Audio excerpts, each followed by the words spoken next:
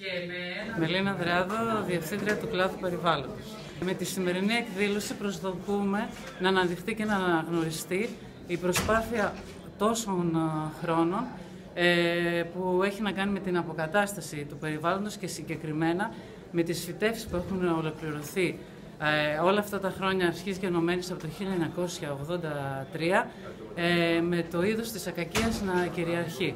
Ε, στα χρόνια που πέρασαν αποδείχτηκε ότι η ακακία είναι ένα άριστο μελισσοτροφικό φυτό και αυτός είναι ο στόχος της σημερινής εκδήλωσης. Είναι μια εξωστρεφής κίνηση της ΔΕΗ που θα συνεχιστεί; Είναι μια εξωστρεφής κίνηση της ΔΕΗ που ελπίζουμε να συνεχιστεί.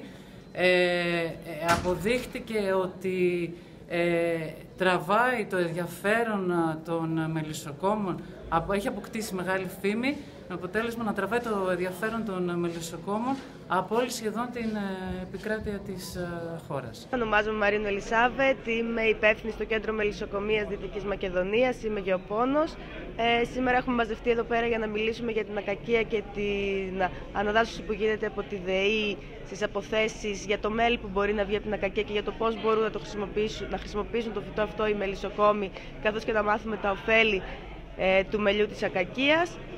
Ε... Έχει ενδιαφέρον, αξίζει τον κόπο ε, οι εκτάσεις ακακίας να τοποθετηθούν με λύσια.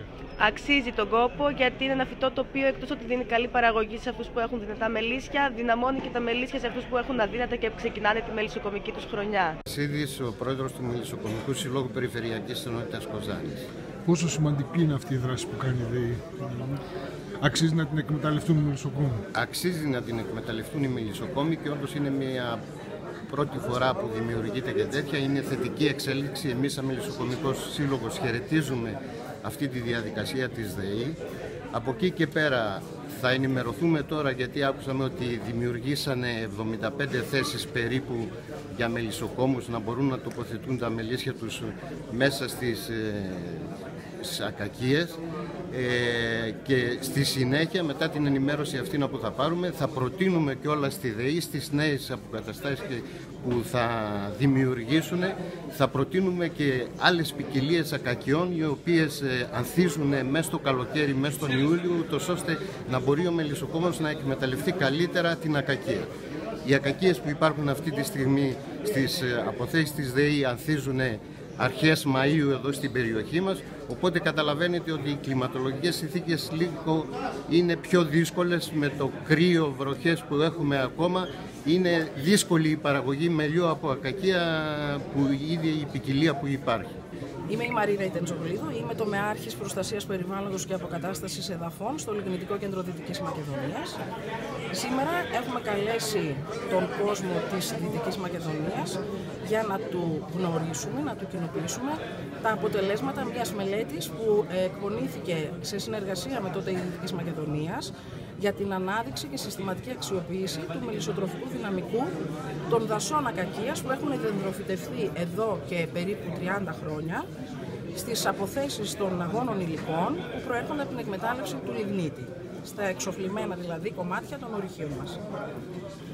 Ε, καλούμε τους ε, μελισσοκόμους να έρθουν για πρώτη φορά σε οργανωμένες θέσεις να τοποθετήσουν τα μελίσια τους ε, βάσει της μελέτης που εκπονήθηκε ε, κάτω από επιστημονική ε, διαδικασία έτσι ώστε να δημιουργηθεί μια βάση δεδομένων και να μπορούμε να έχουμε μετρήσιμα επιστημονικώ αποτελέσματα για την παραγωγή μελιού από τα δάση ακακία του Ελληνικού Κέντρου. Άννη Παπαδόπουλος, αναπληρωτής καθηγητής στο τμήμα Τεχνολόγων Γεωγόνων του ΤΕΙ Δική Μακεδονίας. Ωραία. Κύριε Παπαδόπουλο, κύριε καθηγητά, γιατί να έρθουν οι μελισσοκόμοι στην περιοχή; Ε, στο Ελληνικό Κέντρο τα τελευταία 50 χρόνια έχει δημιουργηθεί σταδιακά το μεγαλύτερο δάσος ψευδακακίας που υπάρχει στον ελληνικό χώρο ξεπερνάει τα 25.000 στρέμματα. Η ακακία είναι ένα πολύ χρήσιμο και αξιόλογο μελισσοτροφικό φυτό. Ανθίζει για ένα δεκαήμερο περίπου στα μέρη μας και στο δεκαήμερο αυτό παράγει πολύ μεγάλες ποσότητες νέκταρος που το αξιοποιούν οι μέλισσες και σε ευνοϊκές χρονιές έχουμε πολύ υψηλές παραγωγές μελιού. Το μέλι ακακίας δεν είναι πολύ γνωστό στον ελληνικό χώρο, είναι όμως εξαιρετικά δημοφιλές. Για την ακρίβεια είναι το δημοφιλέστερο μέλι στις χώρε κεντρική και βόρεια Ευρώπης και το πιο ακριβοπληρωμένο. Επομένως, υπάρχει στην περιοχή μας ε, ήδη ένα έτοιμο δάσος ακακίας που περιμένει τους μελισσοκόμους να το αξιοποιήσουν και είναι κρίμα αυτό να, είναι, να μην είναι γνωστό στον ευρύ μελισσοκομικό κόσμο. Υπάρχουν ήδη κάποιοι μελισσοκόμοι πρωτοπόροι που το αξιοποιούν και φέρνουν κάθε χρόνο μελίσια. Η ΔΕΗ κάνει μια προσπάθεια και την συνεπικουρούμε σε αυτό να το διαδώσει σε περισσότερο κόσμο ώστε αυτός ο φυσικός πόλεμο να αξιοποιηθεί. Φωτεινή, είμαι υποψήφια διδάκτορας του Παπαδοπούλου Φωτεινή, είμαι υποψήφια διδάκτορας του Απιθύτα, είμαι γεωπόνος. Ε, εδώ η παρουσίασή μου είναι σχετικά με τη χρήση της φρυδακακίας ως μελισσοτροφικό φυτό.